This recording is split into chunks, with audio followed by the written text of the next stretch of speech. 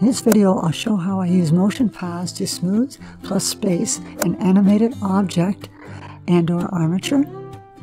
I'll animate the golf ball and have the end frame at 118.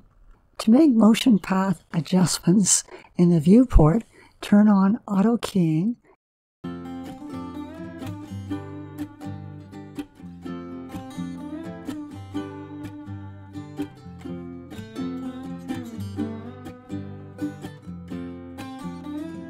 I'm using a Make Human character with a Mixamo mocap, and the golf club is from Sketchfab.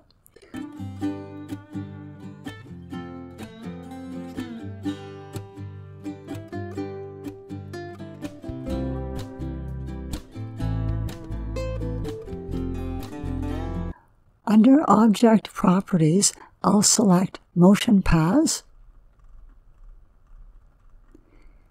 press Calculate, and then OK. With the golf ball still selected, I'll adjust the path of keyframe 73 in the main viewport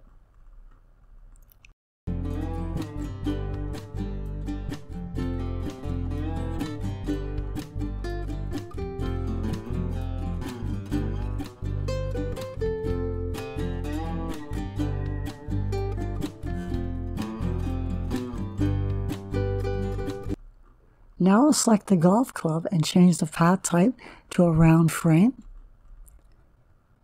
I'll leave the before and after frame range at 10.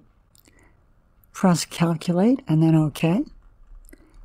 The golf club has no keyframes since I've attached it to the armature.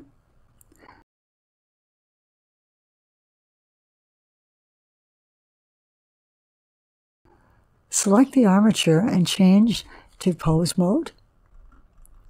In X-ray mode, I'll select the right shoulder and open the armatures, tabs, motion paths.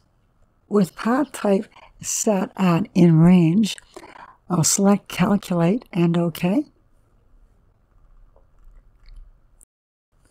In the motion paths display panel, I deselect keyframes, keyframe numbers, and lines due to the small space the shoulder bone moves it.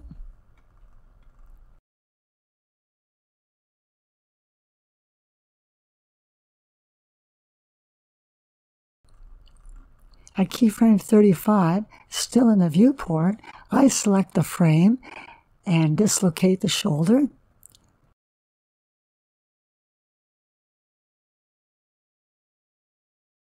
You can see the mocap keyframes distorted in the graph editor.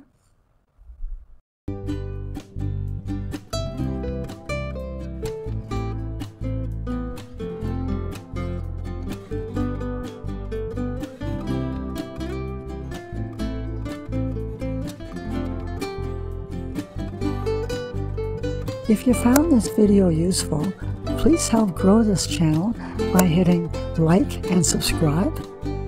Thanks for watching.